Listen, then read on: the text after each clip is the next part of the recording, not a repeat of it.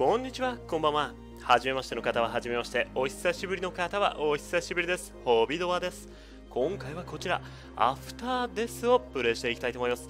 今作は私大好き横スクロールメトロイドバニア系のゲームとなっています。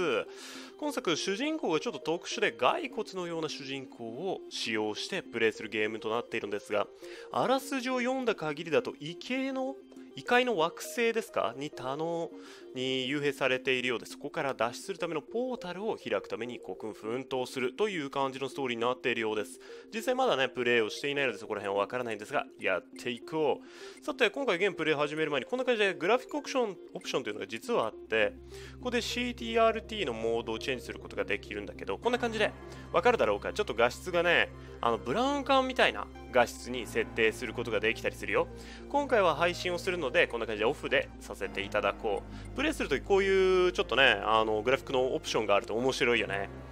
昔のゲームのような感じで。さてでゲームゲームスタートすると1エンプティ例によって例のごとくプレイヤーあのコントローラーの方は Xbox One のコントローラーを使用しているんだけどちゃんとボタンの表示とかが出るね。始まったようだ。ちなみに今作気になっていたゲームの一つなんだけど結構前ね発売されたゲームなんで2017年の終わり頃だったかな。あ今の魂のようなものが主人公の体に憑依したっていうことか。あもともとこういう体ではなかったのかじゃあ。スカル。私は今どこにいるんだ。ここから出る方法を探さなくては。お始まった。あ動きがゆっくりなんだね。操作はこんな感じで攻撃ボタンがで攻撃ボタンで。X ボタンを押してるんだけど攻撃ができるね。他のボタンをちょっと押して何かできる確認してるんだけど。こうプラットフォームから降りるのは下ボタンを押しながらジャンプボタンを押すと降りられますね。ちなみにキーバインドとかは一応変えられたはずなんだよね。ゲームのオプションでキーセッティングあるね。やっぱり。変えようと思えば変えられるみたい。水を歩いてるときちょっとゆっくりになるねやっぱり。ん？なんか読めるのかこれ。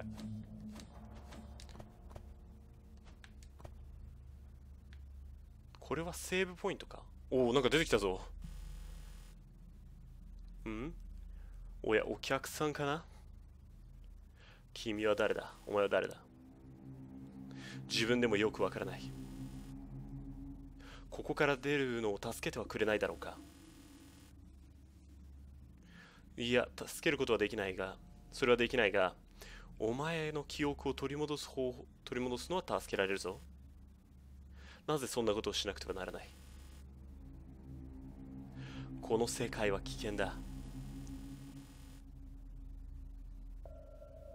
もしももしもお前が死んだ場合死んでしまった場合最後にお前が訪れたせ 訪れたというか記録したメモリに戻すことができるとのことだ。要はセーブポイントになるよってことだよね。ありがとう。私の名前はメモリアエ。ああやっぱメモリーセーブド。要はまあ記憶を取り戻すって俺翻訳したけど違うわ。要は記憶がここに戻るよっていう感じでいいんですよね。セルフ的には。あ上のあれマップだったのか。表示が独特だな。ちょっと変わったところに表示されてますね。要はあの像に触れるとセーブポイントチェックポイントになるよっていう感じですね。OK 普通に翻訳を間違えた感じだ。ではこちら左側へ行ってみよう。さておっとここ降りたら戻れなくなりそうだね一時的に。現在の主人公の能力で戻れなさそう。敵が今のところ出てきてないんだよね。ちなみになぜ壁攻撃してるかというとこれは割れる壁とかあるじゃない？結構。あと予想より BGM がちょっとだけ出ているんだけどかなりかなり薄いですね BGM が。他のステージは分からない。ここかなり静かめ。ん？これは？今は通れない。あ割れないね。扉になっているけど何かが道を塞いでいるという感じか。おなんだこれは。これはなんだ？ああ。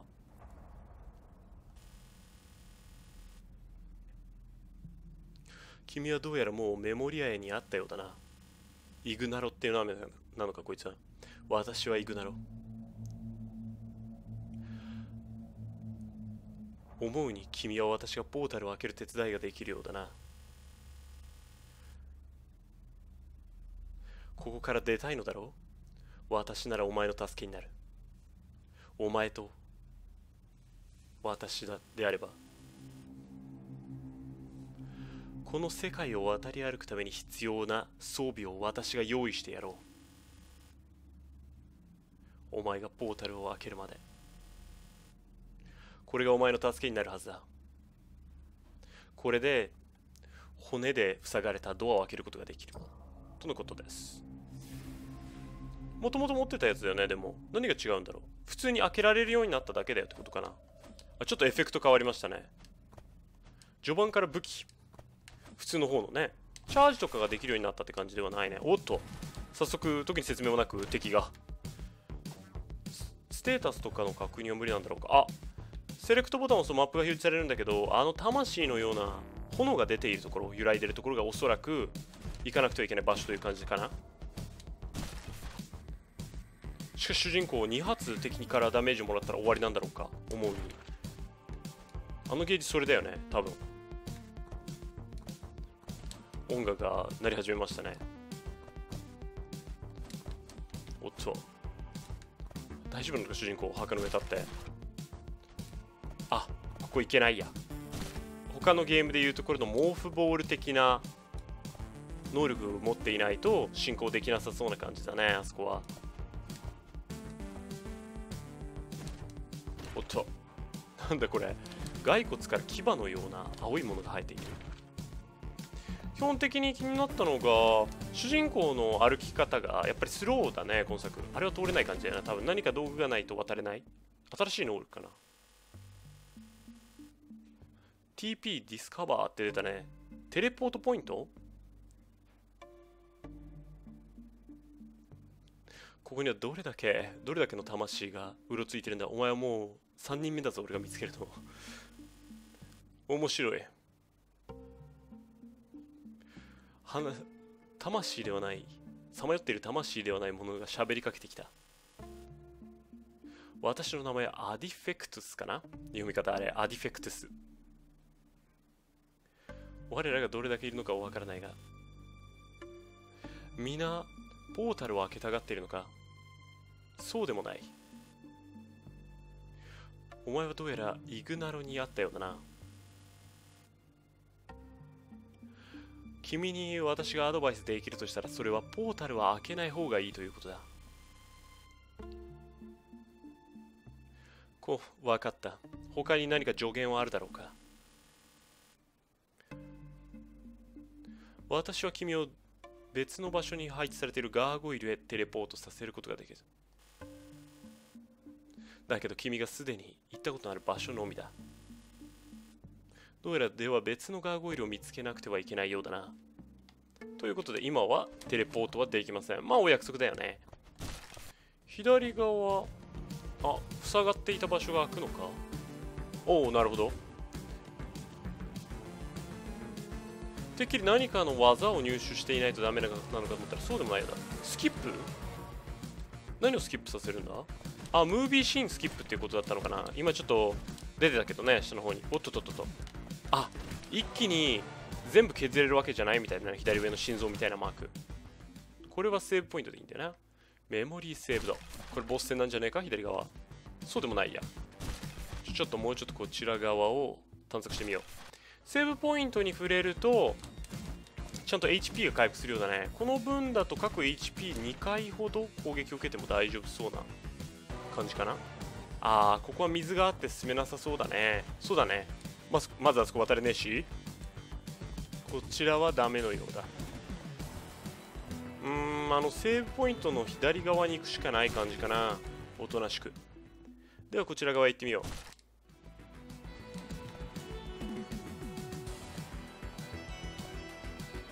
下へ待とうか。こいつ。レベルなどの概念が一切なくメトロイドバニア系でもどちらかというとメトロイド寄りな感じのゲームになっているかな今作今のところは。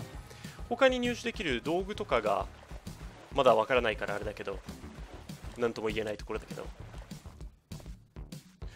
一つ本当気になってるのが今作の主人公がかなりもっさりだね動き方が。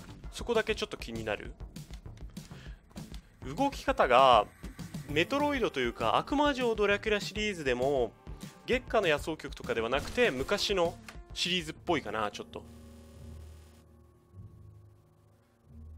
私は一体どうやってこの砂漠のような場所にたどり着いたのだ？そうだねいきなり砂漠みたいなフィールドになってるからね。ここやはりおかしな場所になってていろいろな空間とつながっている感じなんだろうか。そもそも安定してないのかなストーリー的に。場所がね。お墓なぜ置かれてる急にこういう棺？なんで置かれてるんだろう。あこいつ出てきそう。下のやつ。出てこないや。なんだろう。どっかでああいう物体見たことあんな。どこだろう。エイリアンではないかな。なんかどっかで見たような感じ。ちょっとあるね。そろそろまたセーブポイントでもいいんだよ。ポータルとかあると助かる。あここもいける？なぜ私に話しかけるためにガーゴイルが必要なんだ？ガーゴイルは彫刻家によって作られた。これは私を呼びさああそうか。さまよえる魂の触媒となっているのだ。このおかげで私たちは喋ることができるんだ。ガーゴイルはどどのさまよえる魂でも使えるのか？いやああ各各さまよえる魂のために作られたガーゴイルがあるようだからだから全部は使えるのか。なぜその彫刻家はそんなことをしたんだ？君がその答えを探すのだとのことです。あれ？あれかな？その彫刻家というのは主人公のことなんだろうか。そもそもここにさここで主人公いきなり目覚めて記憶がないわけだしね。可能性はあるよね。あなんかちょっとあれな感じの物体がおっと？通っていいの？これあダメージある普通にダメージあったな、今。ジャンプで通るのもあれ難しいぞ、大きさ的に。下、下行った方がいいのかな。これ多分、うんだよな。下からじゃねえよな。あの上の扉を通らないとダメな感じだな、これは。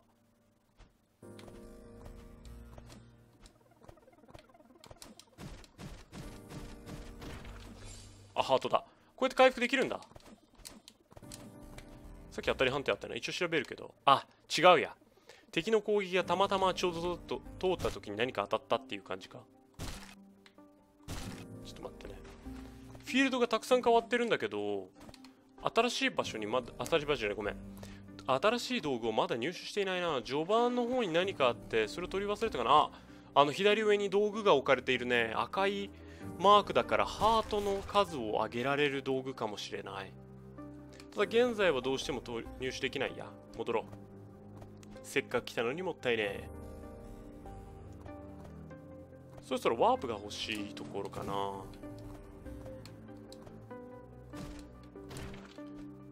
あ、あの生命体かな骨だけになってた。あ、回復だ。取れた。ちょっと離れててもちゃんと取れるね。いるなあそこに飛ばしてくるここの角度飛ばしてくるわ気に入らねえな、てめえ。こちらは？よいしょ。あ、やばい。あと一発で死ぬ。多分あと一発で終わると思う。回復が欲しいところだなあ、やべえあいついる。あいつ苦手。おっと、ハート、やった。あ、半分しか回復しないのか、ハート丸々一つ回復するのかと思ったんだけど。おお、新しい技のようだ。ま、もう一つだ。お前は誰だ？どうやら私はもう透明ではないようだな。随分と昔、誰も私を見ることはできなかったのだが、どうやら終わったようだな。私の名はフォーチチュード。お前は私の助けになるか？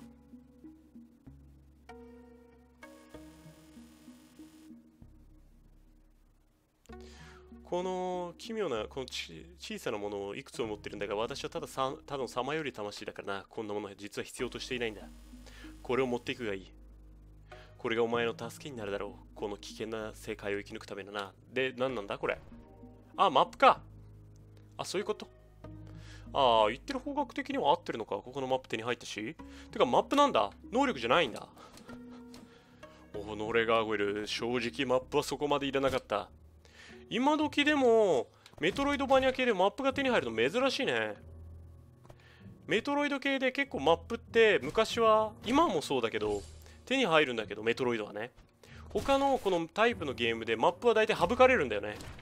自分で探せとかね、歩けってことなのかもしれないけれど。いやだってマップ取ってもちょっとがっかりしない？正直。マップだったら、マップくれるんだったら別のもの欲しいよね、ちょっと。この足場を降りられないな。なぜだ？降りられないとちょっと語弊があるけど。あ、これ HP 回復に使うのにもいいね。ちゃんとあいつから HP 回復のアイテムがドロップするみたい。このまま右行くと突き、突き当たりに出るな。何があるのか調べてみるか。あ、何もないなんだろう？何かありそう。上に何か白いものが浮いてるけど関係ないのかな？もしかしたら特定の武器などがあれば何か破壊できる壁があるのかもしれないね。このさ、クリアのパーセンテージとかは表示されるのかな？そういえば。ちょいと気になる。あ、ここ降りてもいいのかな？降りたら完全アウトみたいなね、ありそう。ここに敵の落とした物体が当たったな。あれ、エキスみたいなものだから水に当たったら普通はここまで来ないんじゃなかろうか、思うに。まあいい。まあいい。許してやろう。これ上かな？でもこのまままっすぐなんだよな、行かなきゃいけないところ。うーん。途中ポータルがあるね。黄色いポータル。そういえばてっきりすぐボス戦があるのかなって思っていたんだけど、特にボス戦も今のところはないね。大体このタイプのゲームはすぐ1体ぐらいはボスがいて、その後がちょっと長いとかなんだけど、ああ、ここら辺は普通に進めているな。セーブポイントに寄っておこう。危ねえからな。結構進行したよね。この右上行けそうだけれど、ここ？行けそうだけれど、今のジャンプ力ではいけない。うーん、最初に、俺何か取り逃していないとして、最初に手に入りそうな能力が、今のところあれなんだよね。狭いところを通れるようになる能力。手に入りそう。あの序盤の方に結構通れそうで通れなかった場所が多かったので、あ、ここもしかしたらボスかな。ちょっと広い空間。あ、ここ多分そうだな。ボスだな。曲変わったし、主人公動かないし？おお、あの扉は。どっちかっていうとキャッスルバニアじゃねえあの扉。一体何が？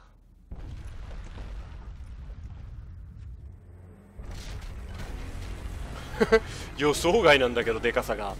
最初のボスじゃなくね？あれだろ？ここだろ？いて。次は手かな。口開けた。撃ってくる。やばい。やばい。ああそっか。ちょっと当てるのが難しくなったね。次は手だ。そっか。ちょっとあいつ引いたら手なので気をつけないとな。で岩が落ちてくる。OK 分かった。パターンはだいたいつかめたけど。えここどうやってやってんの？こう。こうしかないよね。当てられる回数がちょっと減ったな。あやばい。手手で手をクチクチやってくるやつだ。やっぱそうだ。この後はあパーンってやるんだけど。そうだパーンだ。パーンってなんだパーンって。やばい。撃ってくるやつや。ここまでいかなくても多分ジャンプで回避できるんだけどちょっと危ないね。倒した。やったハードがたくさんおおメトロイドライク素晴らしい。これで左行くと新しい能力が手に入る感じだよな。メモリーセーブド。倒すとセーブされるんだ。なるほどね。おお、新しい能力。なんだあれ？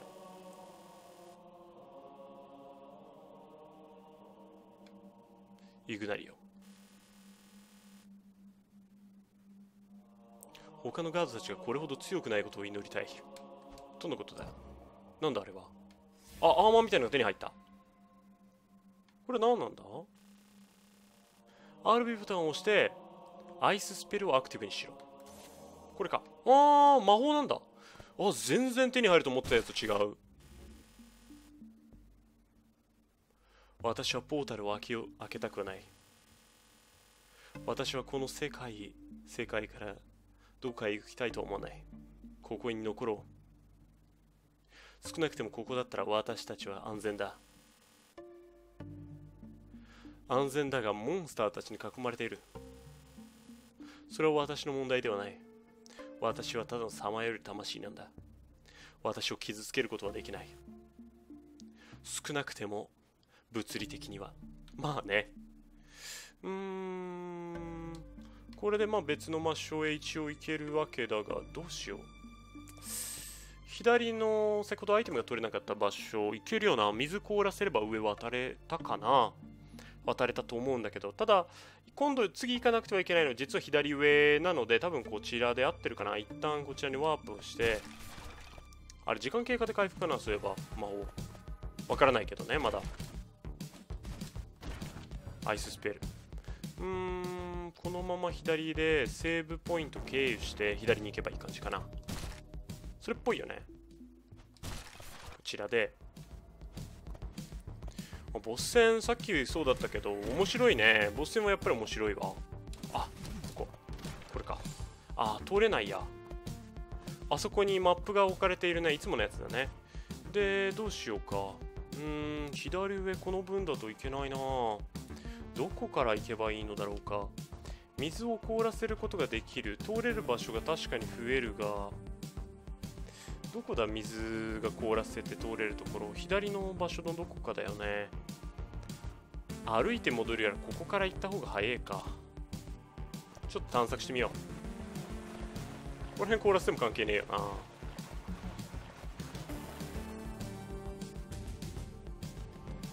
これはあれかな？主人公の外見がどんどん変わっていくのかな？進むにつれて。今アーマー手に入れたわけだけどこういう外見がちょっとずつ変わっていくのいいよね。好きだわ。なんかパワーアップしてるのが目に見えて見えるのいいよね。でこの先だったかな。水が溜まっていて進めなさそうだった場所。これで上に行けるならいいけど。本当にでも予想外だったね。最初に手に入るの俺は間違いなくあのしゃがめば毛布ボールみたいな形態になれるタイプのアイテムだと思ったんだけど。全然違った。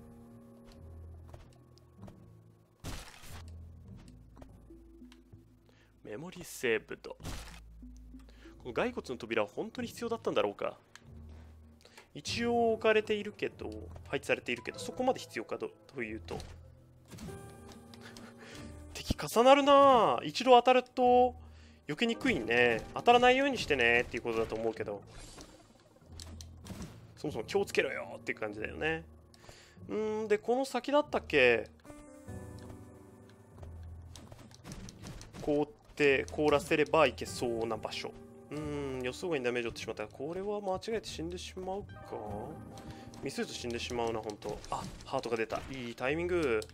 オーイエスオーイエス全開だ全開。でこちら側へ。ここだよね。ここならいけると思うんだよ。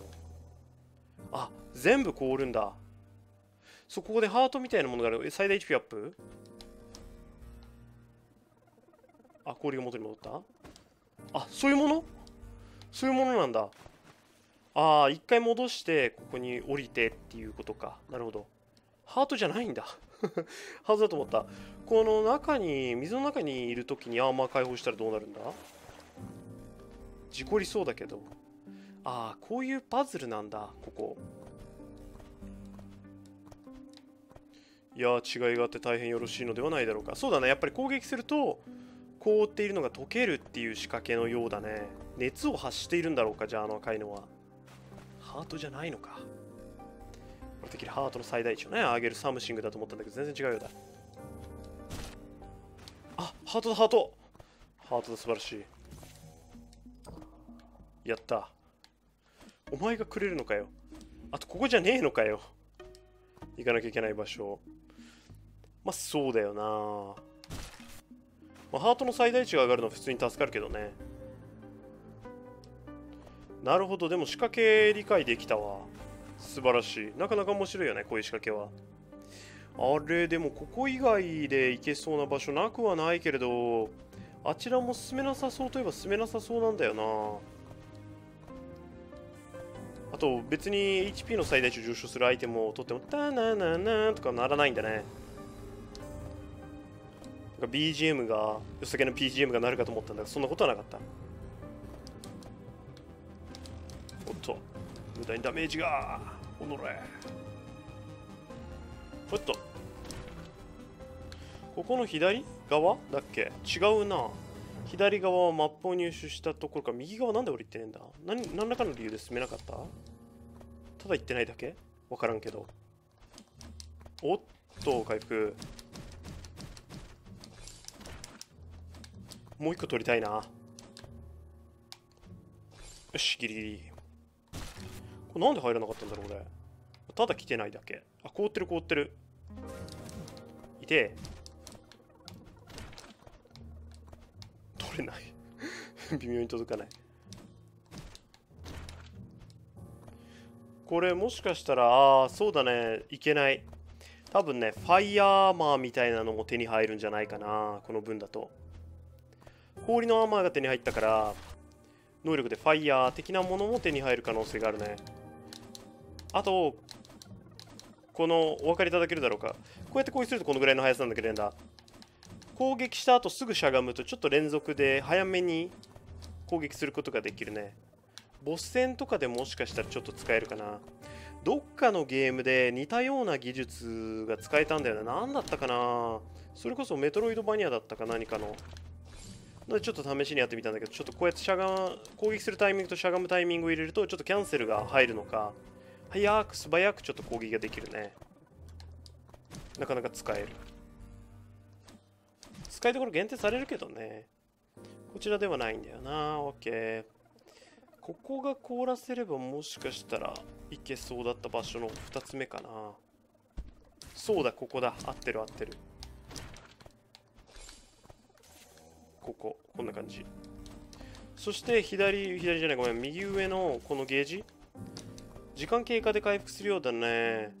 あここちょっと違う入り口が入れないや。氷ではダメか。こちらではないのかもだなでは。一度凍らせたものを溶かすにはどうすればいいんだろう。マップを一旦移動しなくてはいけないのだろうか。別に上から行っても特に問題はないんだけど。ああこれがあるのか。ちゃんと考えておかれているな。行ける場所ちょっと調べてみよう。ここ下へ行けるのか。行って何か。あボス部屋っぽい。あ水中で使っても効果ないのか。ボス部屋っぽいね下の方は。あそっか。あそこから逃げるのに使うのか。何か他にも手に入ったのかな普通に住んでれば。旦アイテムで HP の最低上昇するものを取ったのでこれ取ってみよう。セーブして右上はいけないようだね。まだ。凍らせられるかなってちょっと思ったんだけど水中で。水中で水中凍らせるってちょっと意味不明だけど。ギリギリだなここ。ほんと。こんな感じ？左上何かありそう。あそこ足場置かれてるし。再度ボス戦ということはできないよね。ちらから回り込んだから何かあるかなとちょっと思ったんだけど。ダメなようだ失敗。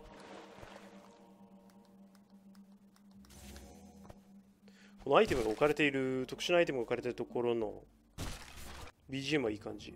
あなんかあるな。あそっか先にこっち調べとけよかったな。何がどうなるんだ。あれ開くだけ。マジで？えでもそんだけ？これなんか今壊せない的なサムシングだろ？そうだね。水中をしゃがんで通れるようにならないと意味がなさげ。そうだね。壊壊してじゃないや。あの凍らせても特に意味はないかな？でここを開けたはいいけど開けたからどうよっていう話だよな。やっぱり一旦戻ってどこかに道がないか探さなくてはダメか。だからワープが置かれているっていう感じだよな。どこだ？行けそうな場所が全然わからないな。何か見落としてるのかもしれないね。序盤の方でちゃんと探索してなかったので。結構行ける場所ありそう。ここら辺のマップないしな。音楽いい感じ。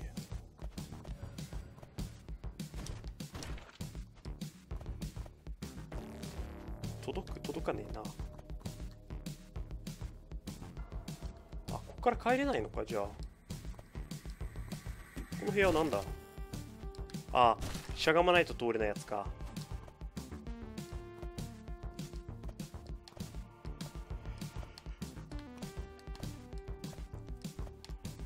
あっちは戻れないよね。今ちょっと戻ろうと頑張ってるんだけど。戻れなさそうだな。ジャンプ力的にも向こう側まではジャンプ届かない。どこだろう？お次は。OK さっきこっち側に試しに行ってみたらどこにも行けなかったんだけどあこっち普通に住んでないだけだ。行ってみよう。今なんか表示が出たような気のせいだ。完全に気のせいだ。本当にありがとうございました。ここはここに繋がってるのね。OK ここも微妙に2段ジャンプがあればいけそうだが。おっとここはこういうことかな？あいけるぞ。こっちだな。じゃあ進まなきゃはいけないところは。素晴らしい。OKOK おっと。こんな感じか？な、なんだこいつは？あー一度凍らせないとダメージを与えることができないのか。だからあの回復がちょっと早めなんだ。このエリアなんかこういう敵いますよっていうのを知らせるために配置されていたようなエリアだね。おお新しいの道具置かれてる。何なのポータル？これがポータルだ。あこれを使って異界に行くのか。これを開けるためにはお前は全てのガーディアンを殺さなくてはならない。最初のガーディアンを殺したと。これがあればもう少し早く移動できるぞ。ん？あマジ早く移動できるもの？あだから最初遅いのか。RT ボタンを押すことで右左はどっちすることができる？これか。これね。押すボタンによってどっちする方角が違うみたい。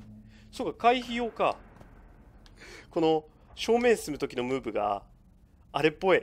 なんだろう。あの名前をど忘れしちゃったんだけど豪輝の必殺技？一瞬戦撃とかって出るやつだよね。あれっぽい。俺どうやって先上行ったんだあここか。えこんなにボスいるの？だってこれボス1体倒して光が1つ出たってことは123456789101112 12体のボスがいるのか。わお！すげえな。結構ボリュームある感じだろ今作。そういえばマップのパーセンテージとか表示されてないもんね。結構あるんだろうな。そしてあれだな。回避どちらかというと一番最初に入手しそうな技ではあるんだけど。あワーポータルだ。素晴らしい。これ見つけといてよかったな。あっちなんか行けそうだったね。どこに出るんだろうここ。あでも行けないや。2段ジャンプ的な何かを持っていないといけなさそうな場所。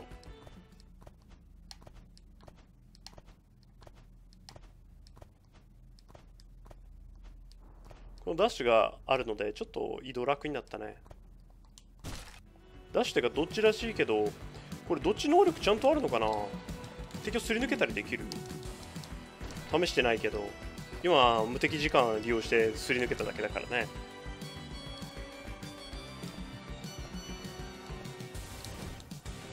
水のような感じになってるのかあいつ。体が水？あ左側に扉があるけどあそこ通れない。ツタのようなものが絡まってるやつだな。あれはやっぱり何なんだろうか。思ったのがツタみたいなものが絡まっているからやっぱり炎属性の攻撃があればもしかしたら破壊できるとかあるのかなって思うんだけど。確証ないや。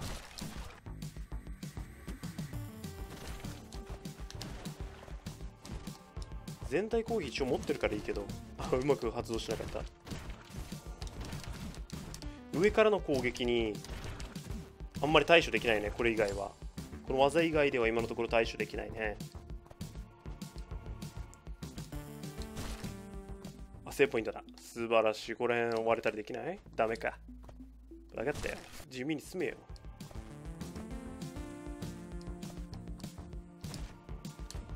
おっと。ダメか。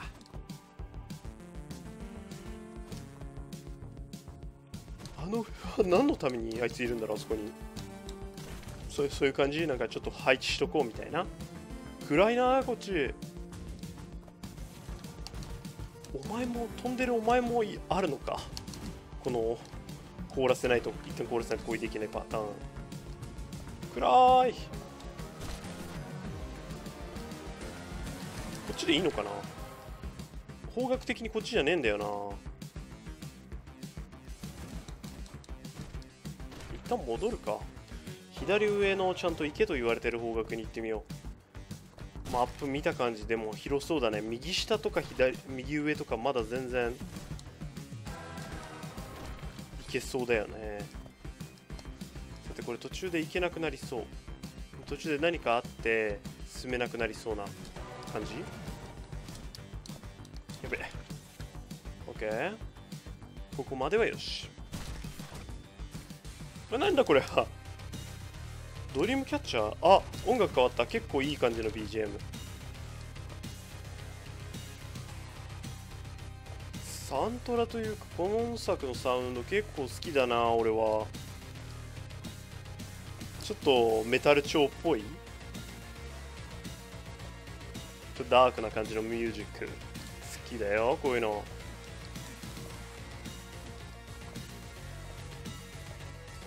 こうでこっちかな？うん一旦凍らせなくてはならないけれど。あ溶岩があるや。溶岩はどうなの？凍らせるので何かなんとか対処できない？対処は不可能か。ここは一旦凍らせないとだろう多分。あれは帰るときに凍らせていたら帰れないのでヒートオーブンみたいな something が置かれてるって感じかな。だけど回復系のものをドロップしてほしいんだがいや割ときついんだよ本当に。下いけるな。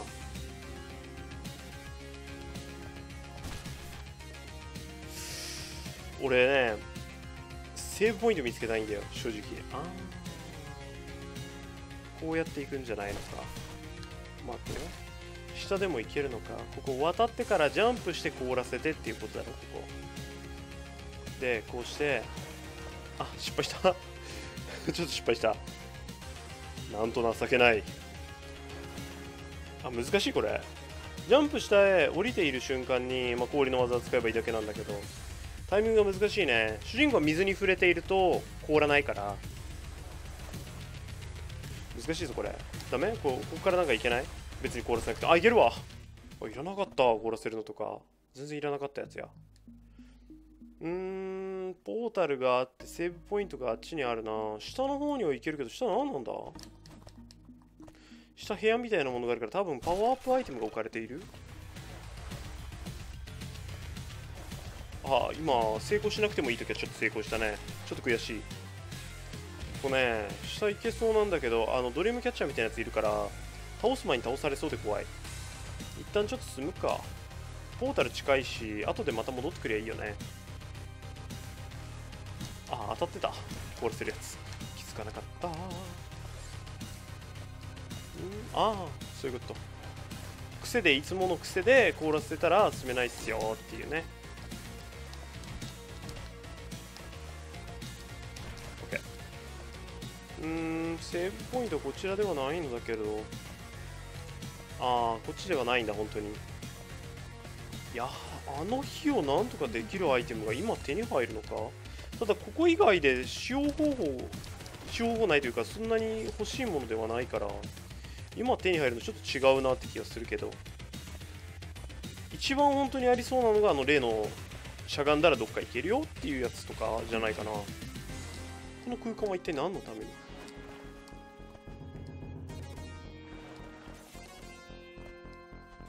あやべ。ハート落とそうよお前ら。おーナイス。ナイスナイス。ドリームキャッチャー？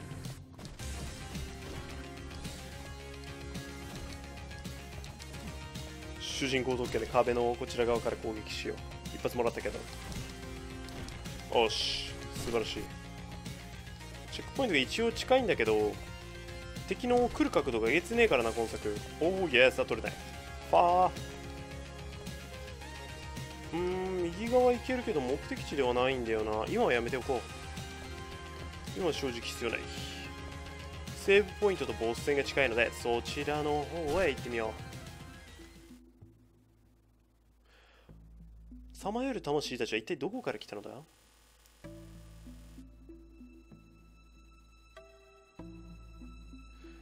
ずっとここにいたような気がする正直。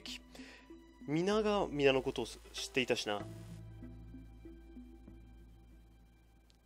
それは君たちが全員友達だということではないんだろう。その通りだ。だが私たちは協力関係にはある。とのことです。共存をしているだね。厳密には。お互いがお互いのことを必要としているという感じなんだろうか。ああボス戦だね。ドアの形状がそういえば今気づいたけど違うんだね。ああおお見にくい見にくて巨大なパックンフラワー。頭部が3つある。3つとも破壊しろってことかな。まずは下のやつを破壊したいところなんだけど。これどうするんだ？どこから攻めてもいい感じ？あそういうこと。あこいつら攻撃当てると爆発するのね。OK 了解した。ちょっと回復しよう。ちゃんと回復用アイテムをドロップするみたいだねでも。攻撃本体に攻撃を仕掛けようとするとこういうやつらが現れる？わからないけど。あこれちょっと面倒だな。飛ぶ系は本当攻撃方法が限られてるので上空の方に。いくつかの角度に今作は攻撃がしにくいのでそれで当てにくい感じだね。ああ下のやつを先に買った方がいいかもな。多分ここが一番敵と安全に戦闘できる場所だと思いたい。だと思いたい。たまにこうやって回復系が出るからまあある程度ご利用しでもいいのかもだけど。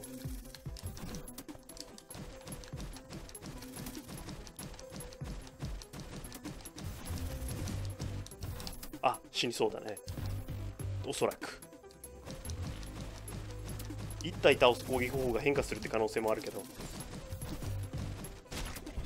この回復系がドロップするの地味に助かる。これがなかったら死んでるわ。じゃあ右上のやつ始末しかないよな場所的に。左のやつとか足場ちっちゃい。攻撃こちらの攻撃貫通するからまだいいか。戦いにくい。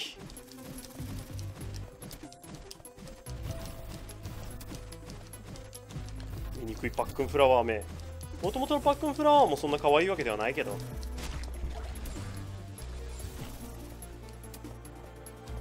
最近パックンフラワーもといクッパ姫とか流行っていたのでもしかしたらパックンフラワー姫みたいなものいるのかもだけど。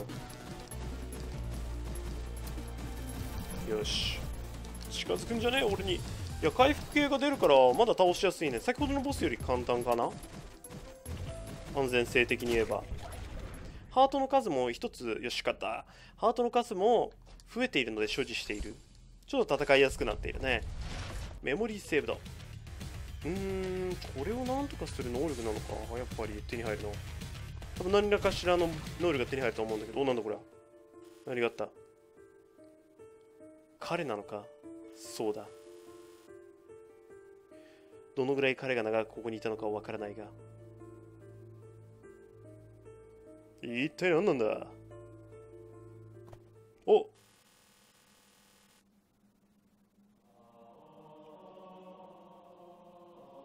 信じられない。ねこのポータルは随分と頑丈に頑丈になってる。マント？何だったんだ今の？ブーツ？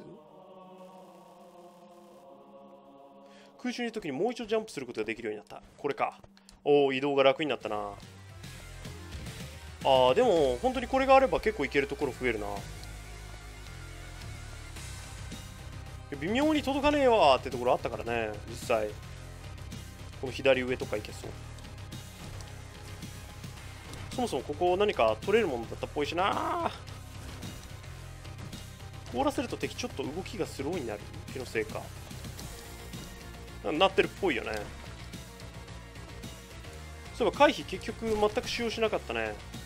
こういう回避系のもの実際クリアまであんまり使わないっていうこと多いんだよ。癖みたいなのであんまり使わないんだよねこのタイプのゲームで。ちなみに使いますよ。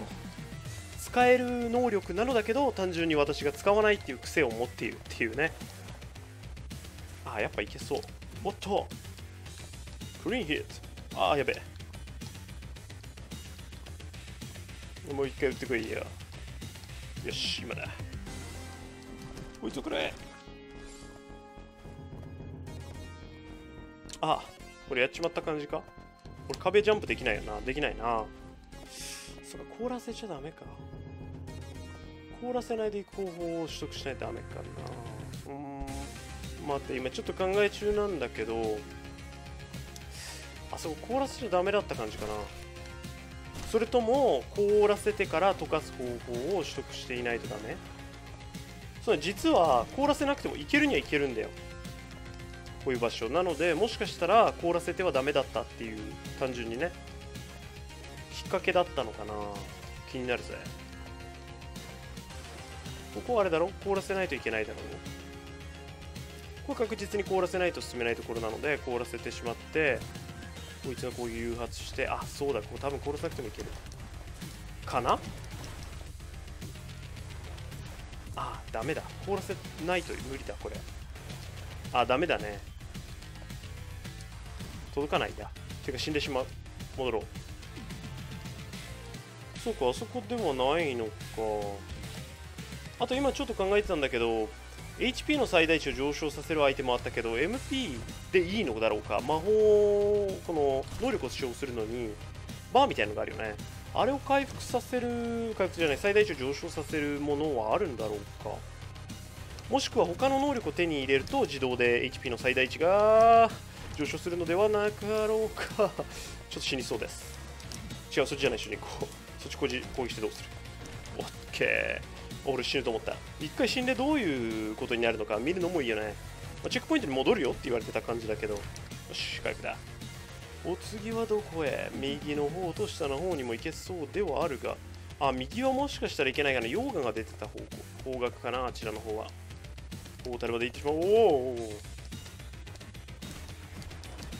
はいよ。これさないと結局届かないよなここ。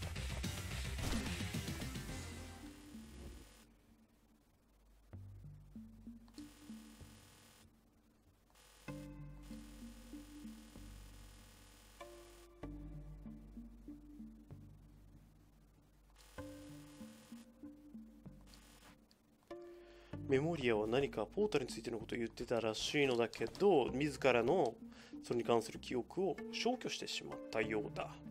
という感じのことを言っていますね。下の方にあるあれは何だ？下の方にねなんかちょっと選択あそうだね。ポータル選択した時に変わるのか。特にあれが必要だっていう感じではないけれどそういうことができるみたいだね。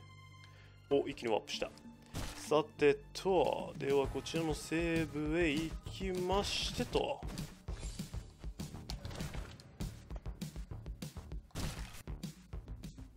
よっと、といった感じで今回のプレイ終了したいと思います。いかがだったでしょうか？ちょっと長めのね、今回は。